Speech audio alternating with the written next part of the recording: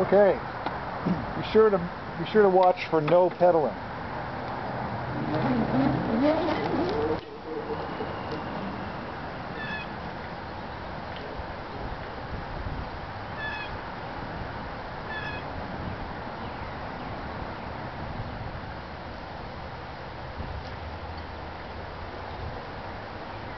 Nothing up my sleeve.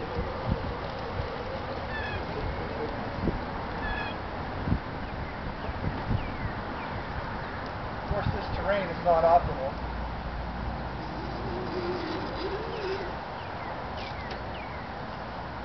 That's it.